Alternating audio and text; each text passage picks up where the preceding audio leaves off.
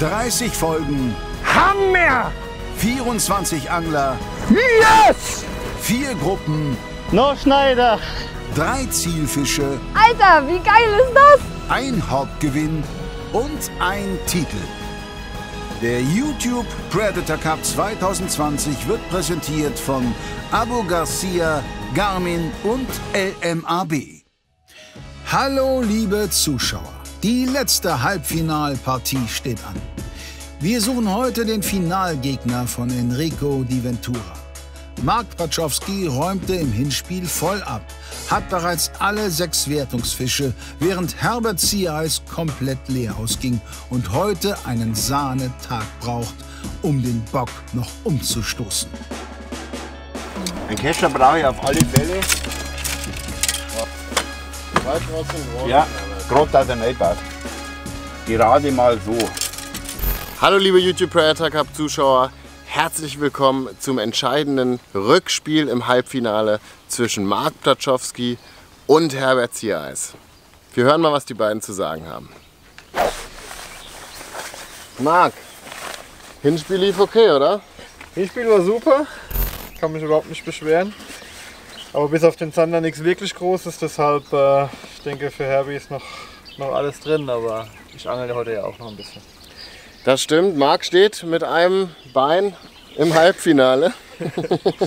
das ist quasi das Halbfinale, äh, im Finale, Im sorry. Finale, ja. Im Finale, wir sind im Halbfinale. Aber Aber wir äh, bestehen auch noch an Krieg hier. Ja, ja, den musst du auch noch unterbringen.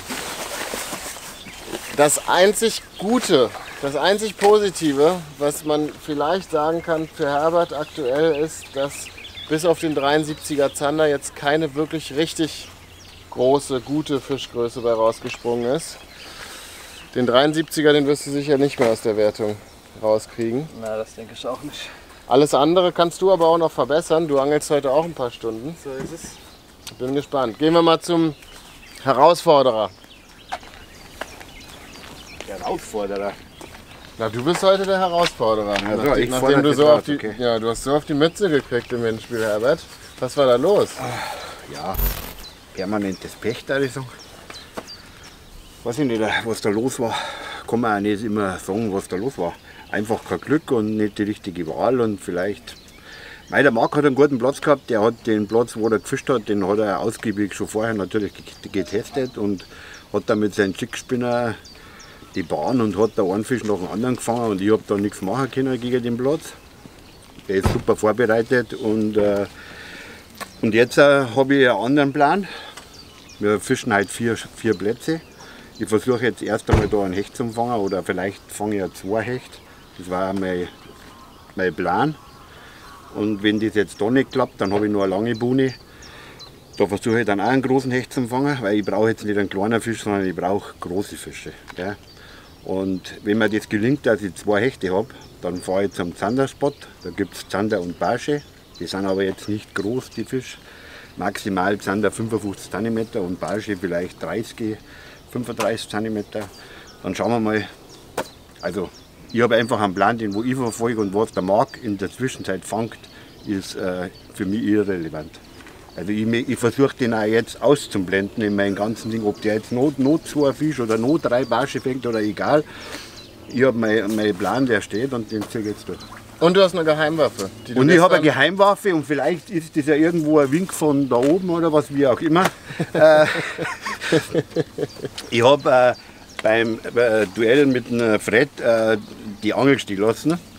Und das ist jetzt nicht irgendeine Angel. Und darum bin ich ja gestern nochmal da hingefahren zu dem Spot und habe hab geschaut, ob die noch da war und habe meine Platzwahl so gemacht, weil ich habe da im Training auch Hechte gefangen.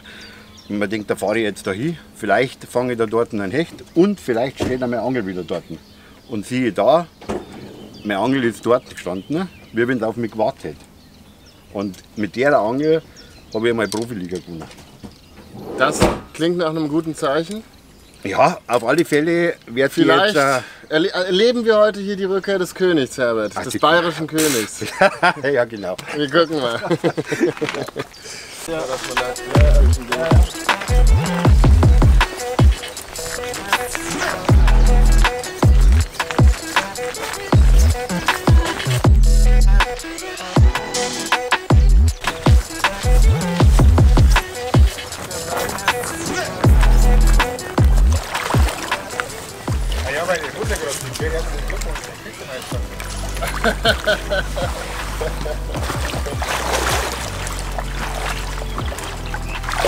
Das kommt von Herzen, oder? Das auf dem Viertelfinale bekannte Hindernis wartet erneut. Doch diesmal ist Toni informiert und daher auch besser vorbereitet. So, bisschen unkomplizierter als beim letzten Mal. Das ist richtig. Ja, kann, kann's losgehen? Alles klar, los geht's. It's on! Go on. Wir sind an Herbie Spot angekommen, haben gerade die ersten Würfe gemacht. Den Spot kenne ich, aber nur vom Boot. Ich glaube, so dicht war ich hier noch nie dran. Ähm, sieht auf jeden Fall sehr verlockend aus. Hier sollte Fisch zu Hause sein. Ich werfe jetzt hier erstmal ein Spinnerbait, dann lasse ich hier mal ein bisschen runtersenken und angel die Kante hoch. Ich hoffe, so einen Hecht oder vielleicht sogar einen dicken Barsch zu kriegen. So, wir sind jetzt am Spot angekommen. Die ersten fünf Minuten sind vergangen. Und ich hoffe, dass mir das gelingt, dass ich da einen Hecht fange oder vielleicht auch zwei. Aber ich tue auf alle Fälle mein Bestes und schauen wir mal, ob es klappt.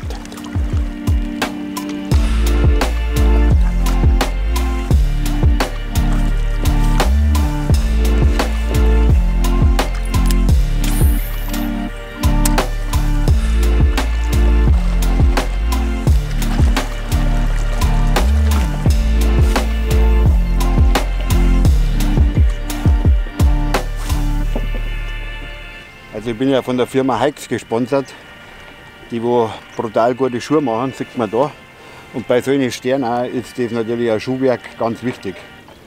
Weil man da ein bisschen einen festen Halt braucht, weil man kippt da ständig um auf die Dinger und das haben wir gerade vorhin gesehen, habe ich gerade einen beinahe Sturz habe ich gerade noch verhindern können. Die Sterne auch richtig glitschig nass und darum zieht es auf alle Fälle gescheite Schuhe an. Weil das vielleicht ganz wichtig ist, weil wenn man da dann liegt mit gebrochenem Fuß, dann hat man auch nichts davon.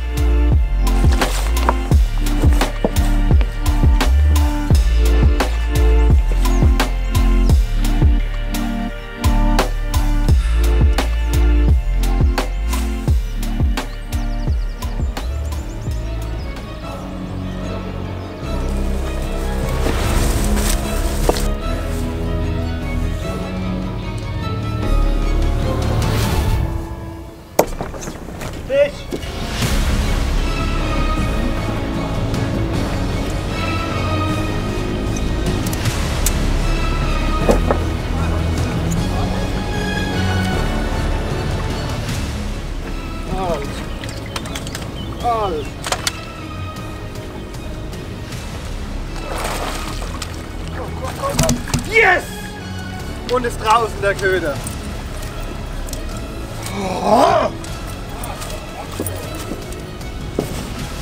Jetzt nach Barsch gestunken an der Stelle. Ja! Bombe. Traumbarsch. So hat Herbert sich das, glaube ich, nicht vorgestellt. Aber wir sind, beziehungsweise Marc ist nicht hier, um Herbert besonders glücklich zu machen heute. Wow, ist das ein Fisch schon wieder. Nee, Nee, 6, 46. 46. Ja. 46. Wahnsinn! Herbert möchte mit großen Hechten die Aufholjagd starten, doch Mark macht ihm das Leben noch schwerer, als es ohnehin schon ist. Traumfisch. Es steht sage und schreibe 445,4 zu 0. Da ist das Teil. Eine fette Kirsche, 46 cm. Der könnte eventuell noch sehr, sehr wichtig werden. Geil, ich freue mich.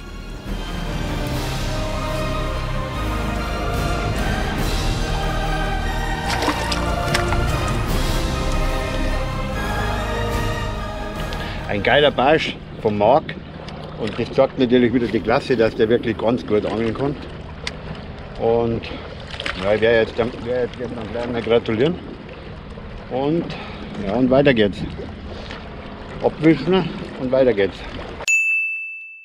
Es gibt wieder mal was zu gewinnen und heute ist es vor allem für diejenigen interessant, die gerne leicht fischen, denn wir haben sechs Ultraleitrouten für euch und sechs Köderpakete. Und was das ist, das stelle ich euch jetzt ganz kurz vor. Unsere sehr beliebte Routenserie La Moustique von LMAB hat Zuwachs bekommen. Es gibt jetzt zwei Varianten für Baitcast-Liebhaber. Es gibt, wie ihr sehen könnt, auch drei längere Varianten. 2,25 Meter sind die.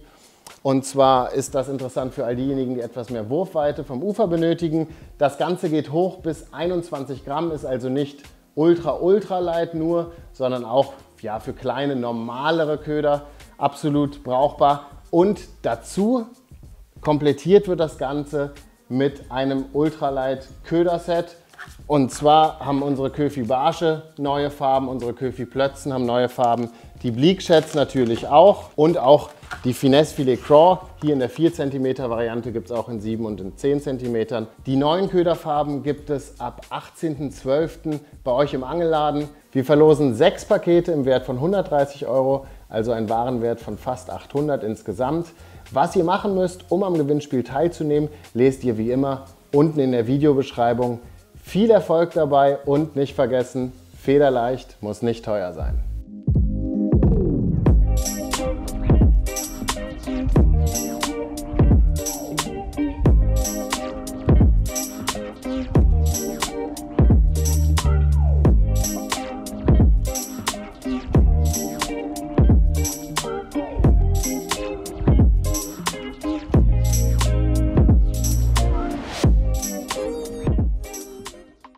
Der 46er Barsch kam auch schon mit der 40er Barsch im Viertelfinale gegen Fonso auf den neuen Crusher Spinnerbait. Es gab schon mal einen Crusher Spinnerbait, wir haben das ganze Ding nochmal überarbeitet.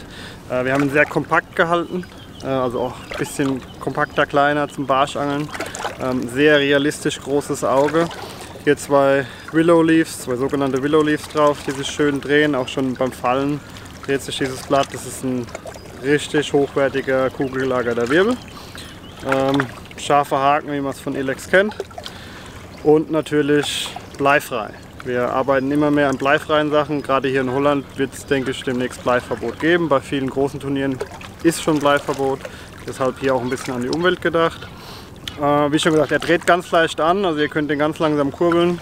Fängt Hechte, dicke Barsche, wie ihr gesehen habt, und sogar Zander.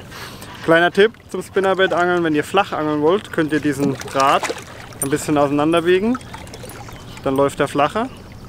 Oder ihr drückt ihn einfach zusammen, dann läuft der Spinnerbait etwas tiefer. Ihr könnt hier keine riesen Tiefen variieren, es geht da um einen halben Meter, aber gerade hier bei der Krautangelei kann das schon entscheidend sein. Probiert ihn einfach mal aus. Herbert bricht die Angelei am ersten Spot relativ zeitig ab. Es geht zur nächsten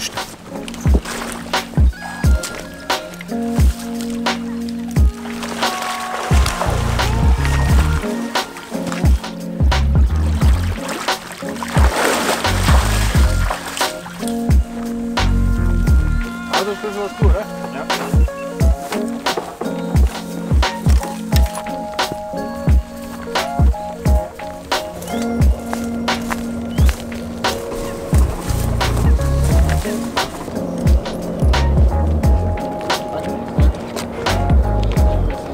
Herbert hat jetzt seinen Spotwechsel gemacht. Äh, ich glaube, wir sind hier auf der längsten und rutschigsten Buhne, die es in Holland gibt. Ähm, war nicht gerade schön hierher zu laufen. Und ähm, ja, Kameraleute haben, waren sich gerade am bereit machen und ich hatte, glaube ich, auf dem ersten Wurf hier wieder auf meinen Crusher Spinnerbait gerade einen Fisch drauf. Es war kein Riesenfisch, habe den gesehen, es war ein Barsch, hatte vielleicht so um die 30 cm. Hätte mich schon ein paar Punkte verbessert. Schade, dass ich ihn verloren habe, aber ich hoffe, hier kommt noch ein bisschen mehr und vielleicht fängt Herbie jetzt auch gleich mal einen Fisch. Ich befürchte es nämlich. Ich bin jetzt so happy, dass ich wieder was sehe. Weil sonst hätte ich das eh sein lassen können, weil ich war das, das Bunnenfeld nicht mehr nach vorne gekommen. Ich glaube, ich habe zwar im Auto eine Ersatzbrille drin. Ich muss euch ganz kurz die Geschichte erzählen, was uns hier gerade passiert ist. Und zwar sind wir auf einer wirklich richtig, richtig langen Buhne. Ich glaube, auf einer längeren waren wir alle noch nicht. Und der Weg ist auch wirklich unwegsam. Und während Marc, ich, unser Kameramann und Stefan uns alle mehrmals fast hingelegt hätten, also wirklich, äh, ich war, lag einmal fast im Wasser, Marc ist vor mir, zweimal fies ausgerutscht, ist Herbert uns sowas von davon galoppiert, war hier irgendwie drei Minuten vor uns an der Buhnenspitze.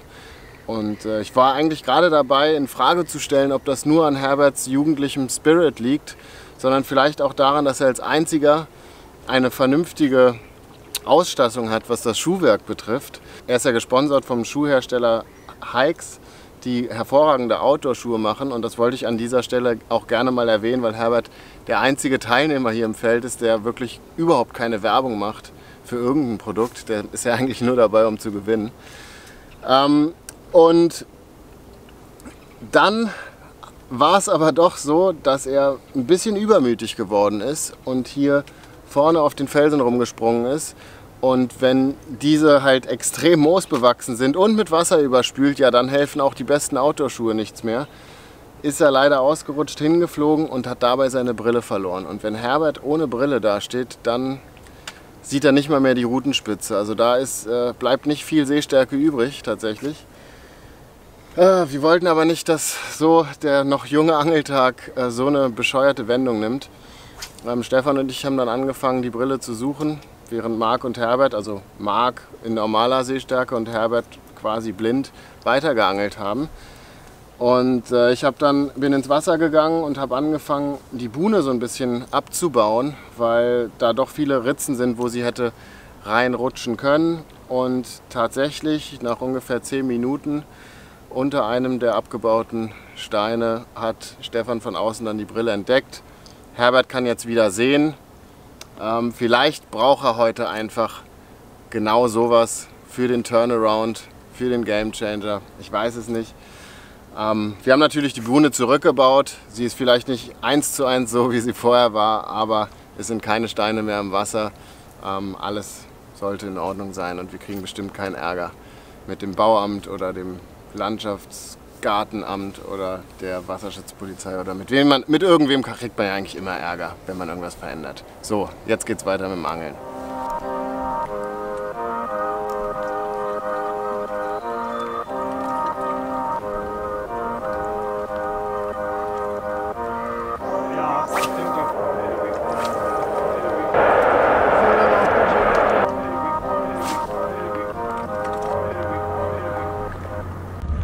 So, jetzt verlassen wir den Spot wieder.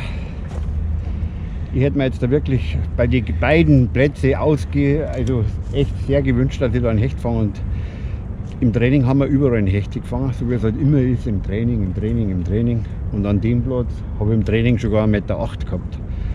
Und ich war mir da eigentlich ziemlich sicher, dass da nicht viel Leute fischen und dass da bestimmt der ein oder andere auch noch da steht. Ja, Marc hat wieder einen Fisch drauf gehabt, also es wird sehr schwer werden, aber die Hoffnung ist noch nicht aufgegeben. So Herbert, was ist los jetzt hier? Kleine Zander und hoffentlich ein paar kleine Barsche. Vielleicht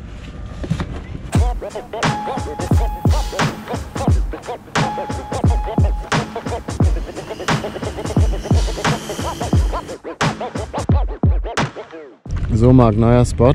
Was hältst du davon? Wir sind am, ich glaube, wenn ich richtig gezählt habe, dritten Spot angekommen von Herbert. Sieht interessant aus, muss ich sagen. Ich war hier noch nie.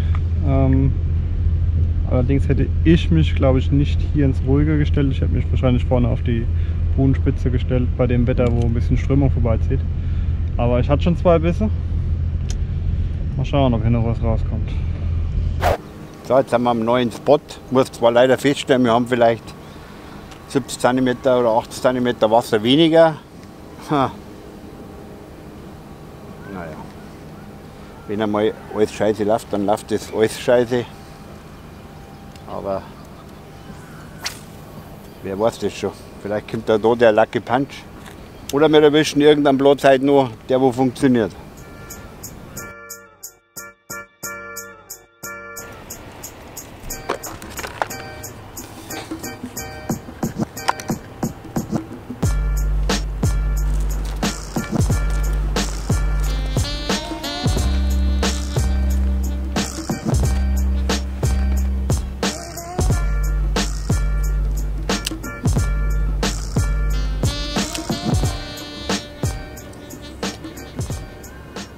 Herbert, erklär unseren Zuschauern nochmal, wie so ein Kickback-Rig aufgebaut ist. Also das ist wie so ein Paternoster aber, oder, oder Dropshot, bloß mit einem langen Arm, da kommt diesmal nicht der Köder hin, sondern das Blei. Und das hänge ich mit so einem Wirbel ein. Je nachdem wie weit ich werfen will, bis zu 30 Gramm kann ich das Ding ausschmeißen. Und dann fische ich das eigentlich wie so eine Faulenzer-Methode. Der Köder ist diesmal unbeschwert. Also wenn der beißen will, dann hängen die eigentlich relativ zuversichtlich. Und ich will eigentlich nur ein paar fangen damit. Aber das ist halt strahlender Sonnenschein, kein Wind, es ist wieder überhaupt kein Fischwetter nicht und Glück habe ich auch keins. Also, naja.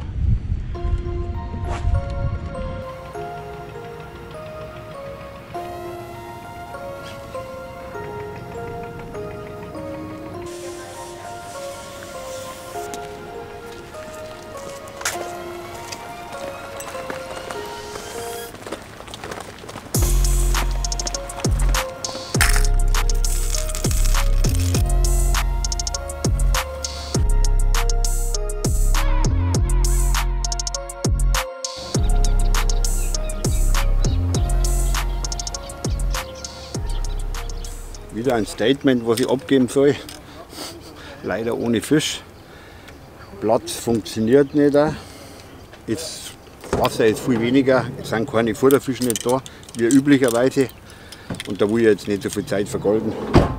Jetzt gehen wir an einen, einen Fluss hier, der wo eine Strömung hat. Probieren es da. Und dann nochmal einen Platz. Also wir haben noch zwei Plätze. Vielleicht finden wir irgendwo einen Platz, wo es funktioniert. Aber anders können wir nicht machen. Ich habe schon häufiger mal Vergleiche zum Fußball gezogen. Und äh, ich glaube, ich habe es zur Kamera noch nicht gesagt, aber Marc ist so ein bisschen das Brasilien des Turniers.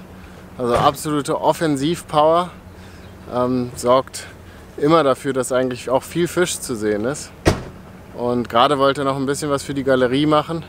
Bisschen Hackespitze 1, 2, 3 hat die Topwater-Köder ausgepackt, versucht einen Rapfen zu fangen. Ist einer hinterhergegangen, hat leider nicht geklappt. Aber wäre natürlich auch noch Sahne und würde den Tag natürlich für ihn krönen. Herbert hat andere Sorgen und wir fahren jetzt mal zu seinem nächsten Spot.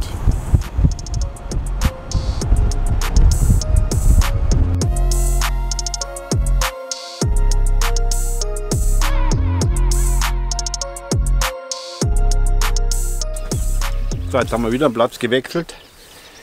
Sind wir an die Meerweide am Fluss gefahren, weil ich weiß jetzt auch nicht mehr, was wir bei denen wieder, das ist alles so tot, was wir da sonst treiben sollen. Jetzt gehen wir auf so leicht fließendes Wasser.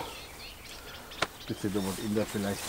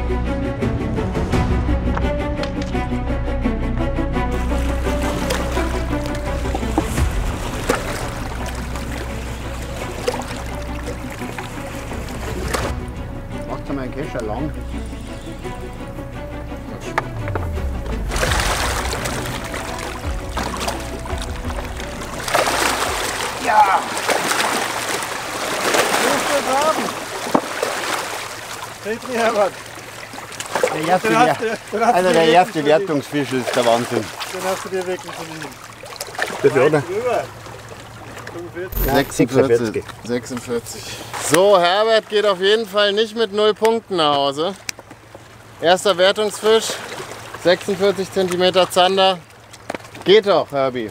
Ja, Gott sei Dank. Ist noch ein bisschen was, aber der Anfang ist gemacht. Der Bann ist endlich gebrochen. 59,8 Punkte für Herbert. Weiter geht's. Unbeschreibliche Gefühle. Bei der UPC, wenn man einen 46er Ba- äh, Zander fängt. Aber es gibt wieder unwahrscheinlich viel Motivation.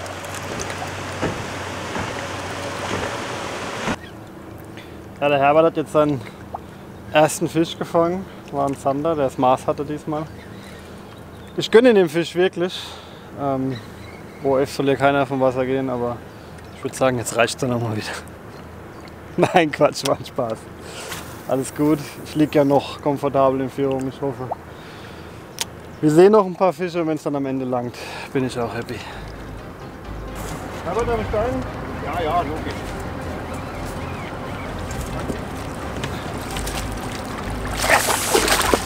Petri Heil. Petri Dank. Herbert hat den richtigen Platz ausgesucht. Jetzt zumindest Fisch. Ja, ich glaube, der verbessert mich ein bisschen.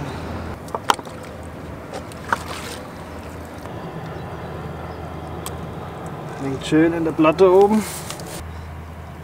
54, 55. 55. 55er Zander. Hat mir gerade noch in den Finger gebissen. Der verbessert mich ein bisschen, den lassen wir jetzt schnell schwimmen. Hier hat es anscheinend Fisch. Marks Konter lässt nicht lange auf sich warten. Er kann sein Konto auf 460,9 Zähler aufstocken.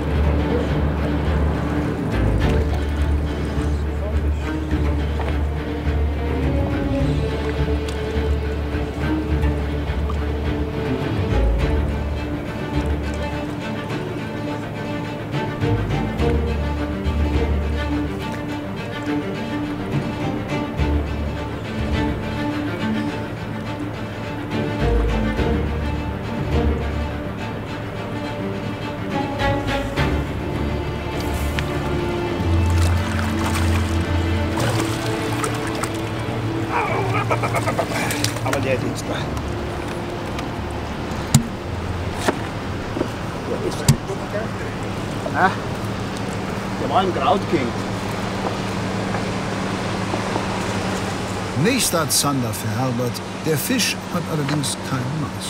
Doch nun beißen die Fische.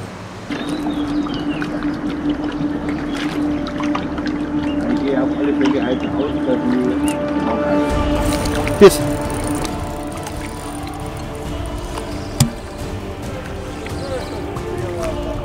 Na, der rupft nicht.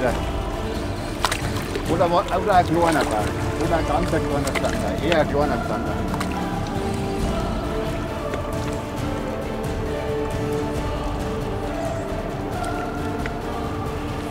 Muss man umgekehrt aber.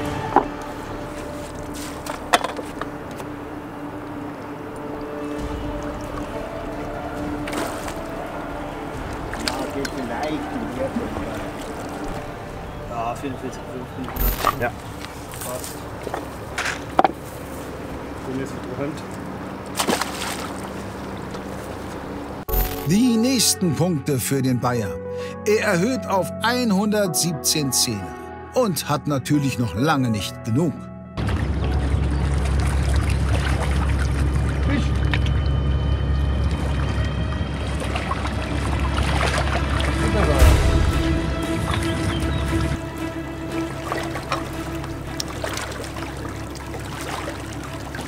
Also jetzt hat Herbert hier so ein bisschen den Code geknackt gerade. Der vierte Fisch innerhalb kürzester Zeit.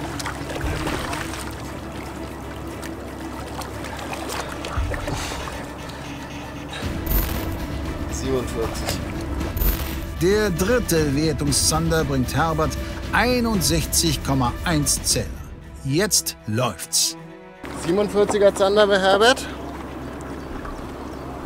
Langsam kommt er wieder ein bisschen näher. Also er macht jetzt erstmal, legt jetzt erstmal den Grundstein, Genau. die Basis. Jetzt hat er drei Wertungsfische. Einen Zander kannst du noch fangen, Herbert. Dann brauchst du einen Barsch und einen Hecht. Und die Größe wäre noch verbesserungswürdig. Aber es geht in die richtige Richtung hier für Herbert. Kein Barsch. Ich glaube, ich kein Barsch. Kleiner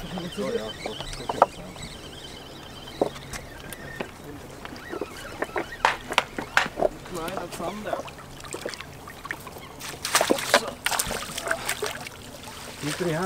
Dank.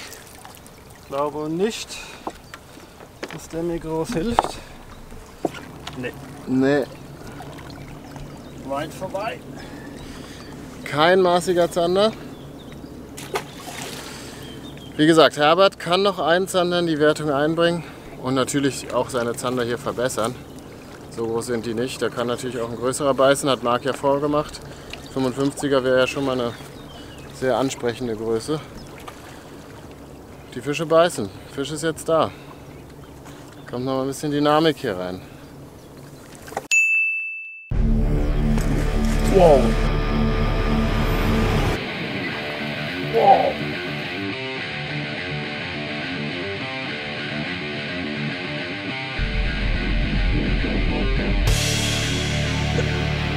food.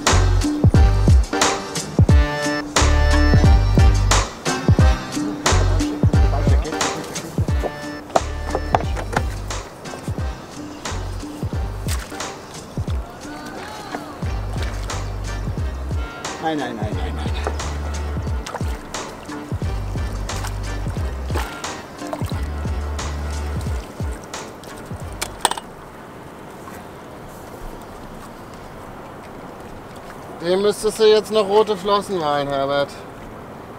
In der Farbe bringt er keine Punkte. So.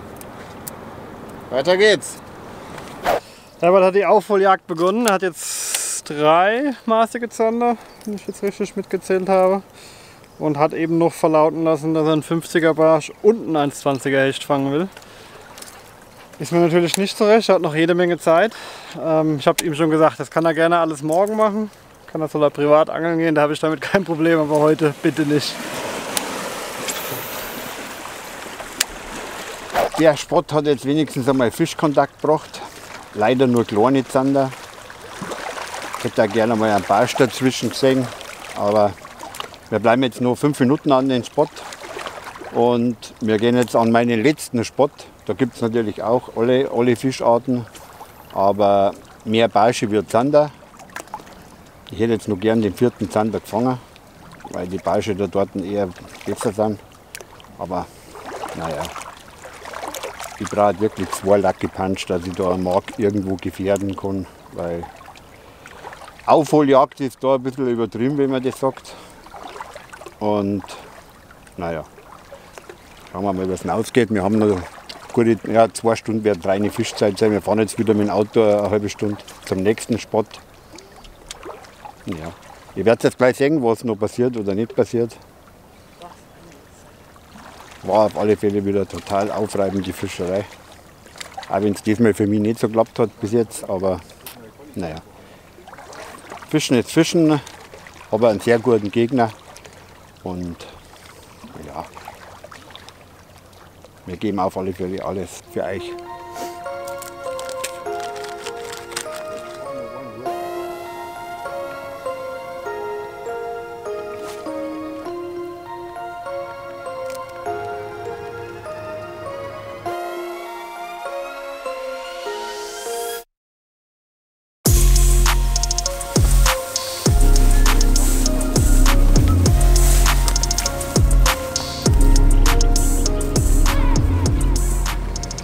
Wir sind jetzt bei Herbert am letzten Platz, Herbert.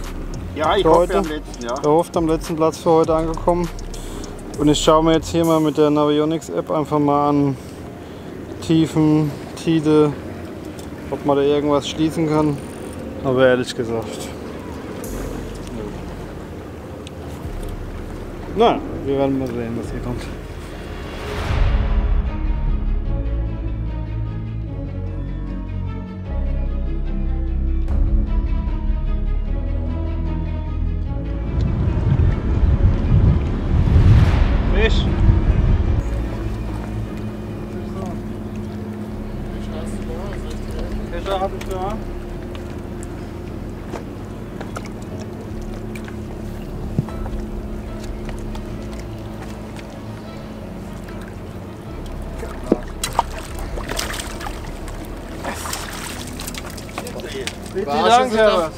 Barsche sind am Platz, Herbert. Du brauchst sie, musst sie nur noch fangen jetzt. Da ist er der Gute. Mal schauen, ob der mir noch hilft.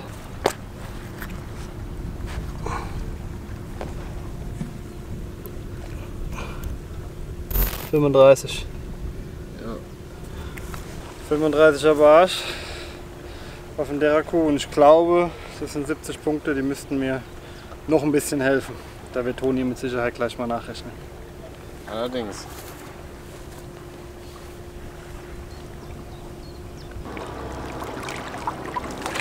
Und wie so oft auf den Deraku. Nochmal 2,5 Punkte Verbesserung für den Ilex-Mann. Kann auch Herbert hier einen Barsch erwischen? So, meinen ersten Fehlbiss an den neuen Platz habe ich auch schon gehabt. Ich bin da sehr zuversichtlich jetzt, dass wir da noch mehr Fisch fangen. Wir kommen jetzt bestimmt erst in die richtig geile Phase. Wir haben noch eineinhalb Stunden oder was zum Fischen. Und ich hoffe, ihr seht noch ein paar Fisch. Marc hat schon mal vorgelegt mit einem 35er Barsch. Also nach so einem komischen, misslungenen Start, glaube ich, wird der Tag nicht schlecht enden. Für den Marc wahrscheinlich. Aber der hat sich ja dann verdient. Also, muss man dann schon sagen. Aber ich habe noch nicht aufgegeben, Marc. Das habe ich befürchtet, Herbert. ja, der Platz von Herbert funktioniert. Ich habe mir das schon gedacht, als wir hier angekommen sind. Ähm, wo wir eben vorher waren, wo er die Zander hatte, war das Wasser sehr, sehr trüb. Überhaupt kein Spot, um Barsche und Hechte zu fangen. Wir haben jetzt den Fluss gewechselt, sind hier in so einer Hafeneinfahrt. Das Wasser ist ziemlich klar. Äh, war mir klar, dass es hier Barsche gibt. War quasi glasklar, dass es Barsche gibt. Äh, ich habe vorgelegt. Ich habe noch einen Fehlbiss gehabt, was er nicht weiß. Und also Fisch kommt hier noch. Ich bin gespannt, wie das Ding hier enden wird. Wir werden keinen Platzwechsel mehr machen. Herbert sagte schon, das ist der letzte Platz für heute. Äh, Und selbst wenn er die Führung übernehmen sollte, wobei ich hätte eine Stunde Zeit, aber ich glaube nicht, dass wir dann noch einen Platzwechsel machen würden. Dranbleiben, es könnte noch spannend werden. Toni hat mir gerade gesagt, Fisch. Das hatte Toni mir nicht gesagt.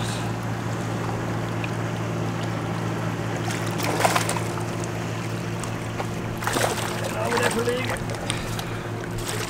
nimmt Fisch. Wir letzten ihn trotzdem mal.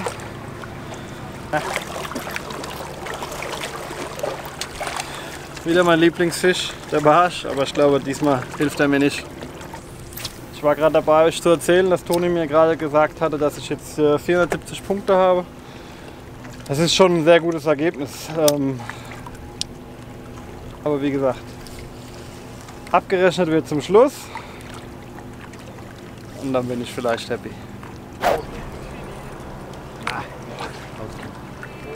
Ja, weg. Ja, weil, ich, weil man denkt, ich muss aufpassen vor dem Boot, aber.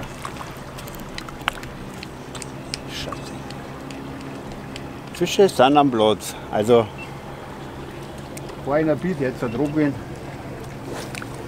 Mag ein bisschen Zieler musst schon noch jetzt heute. Das gehört dazu. Ich bin jetzt gerade vorhin hochgegangen. Und bei der Methode, wo ich da fisch, da ist das Blei so richtig entscheidend, was, was du für Gefühl hast, wie viel Strömung das ist, dass du das so richtig über den Boden so drüber ziehst. Und jetzt habe ich vorhin das Gefühl gehabt, ja, ich habe noch ein bisschen zu viel Blei. Jetzt habe ich mir jetzt noch mal ein Gramm weggezwickt. Und siehe da, habe ich gerade einen Fisch drauf gehabt, habe ich zwar leider verloren, aber ich glaube, das ist oder bleibt nicht der einzige heute noch.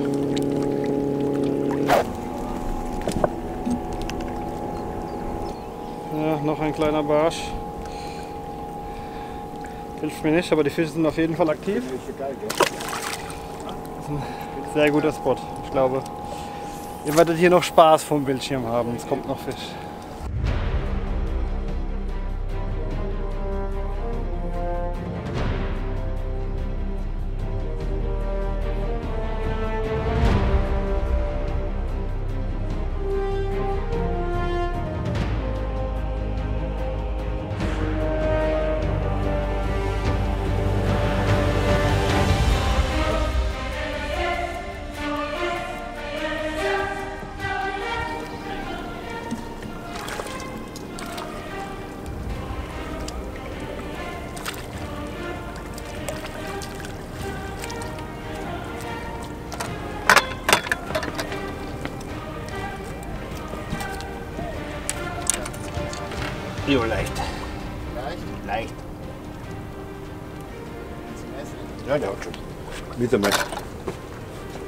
Vier Fisch sind auf der Wertung, wie viele drei, oder?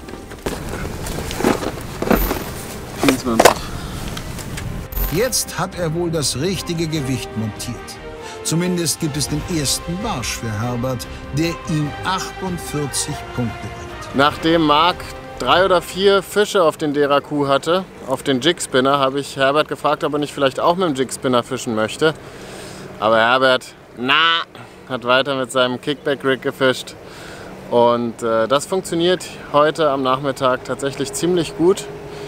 Ich kenne das eigentlich eher als Methode zum Fischen, wenn es wirklich richtig kalt ist, also im Winter, weil es eben ähm, ja, äh, eine sehr, sehr langsame Art zu fischen ist, ähm, wenn die Fische sehr, sehr träge sind. Aber scheinbar ist das auch im absoluten Hochsommer, wenn es richtig, richtig heiß ist, auch nicht zu verachten. Und ich glaube, Herbert fängt heute auch noch ein, zwei weitere Fische. Der hier hat gerade gezählt, der hat ihm Punkte gebracht. Einen braucht er noch, also einen Barsch könnte er noch in die Wertung bringen. Dann wäre wieder ein Hecht nötig, den wir heute Morgen verpasst haben.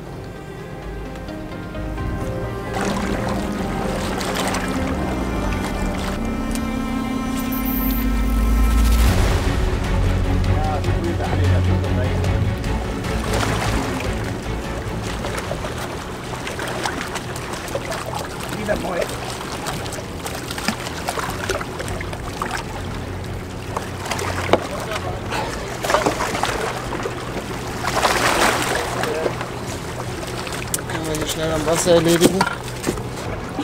27. Okay, dann fange ich noch an größer an. 27er Barsch. Naja, Noch ein Barsch. Herbert klettert weiter, doch der Vorsprung ist natürlich weiterhin sehr groß. Fünf Fische in der Wertung. Herbert, du hast gesagt, hier gibt es auch Hechte. Versuchen jetzt erstmal noch einen größeren Barsch zu fangen oder? ja, 250er. 250er. Natürlich alles ein Blödsinn. Ich denke, das ist machbar.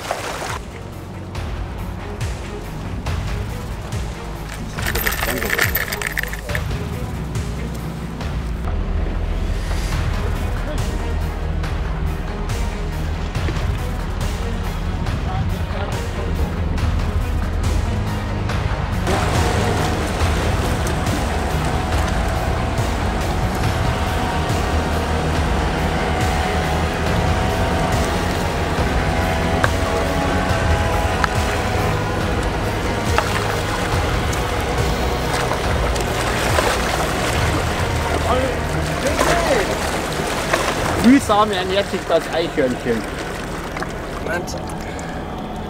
26. Ja.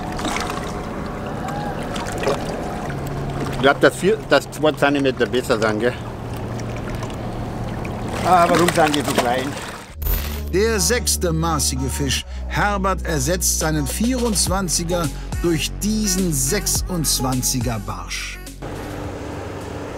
So, die letzten 30 Minuten sind angebrochen und jetzt versuche ich nur einen Hecht zu fangen. Mit den Barsche hat es ja jetzt geklappt. Der Marc hat natürlich wieder die größeren gefangen, aber was will man da machen? Hilft ja nichts.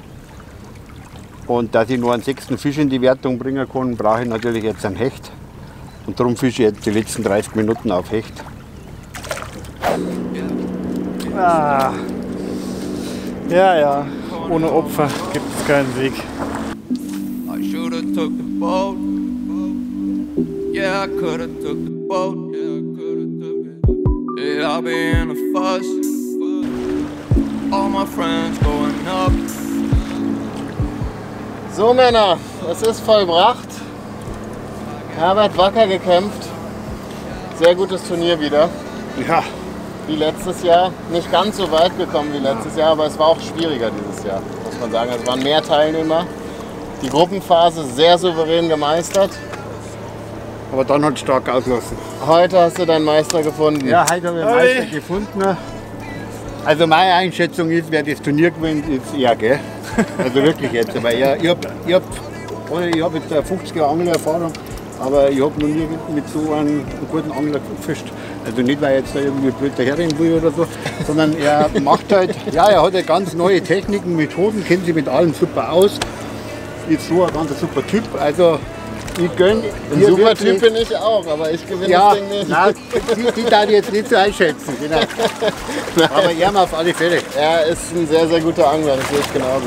Also ich freue mich natürlich über die Worte von Herbert. Es war mir auch echt eine Freude, mit dir zu angeln. Es hat Spaß gemacht. Natürlich mir vielleicht ein bisschen mehr wie dir dieses Ja, war auf alle Fälle. Das nächste Mal geht es wieder anders aus. Ich bin happy, dass ich im Finale bin.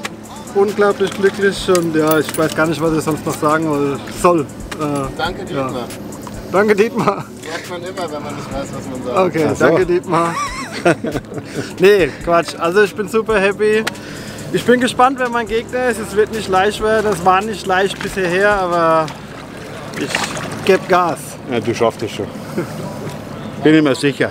Das war's mit dem Halbfinale zwischen Marc und Herbert.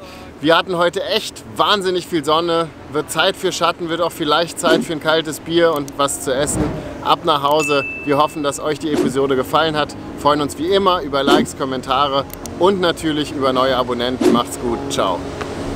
24 Angler und Anglerinnen sind angetreten, zwei sind übrig geblieben.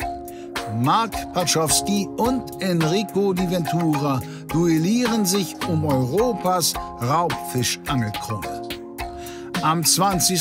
und am 25. Dezember erwarten euch zwei spannende Monsterfolgen mit einer faustdicken Überraschung, vielen schönen Fischen und natürlich der Siegerehrung. Wir sehen uns.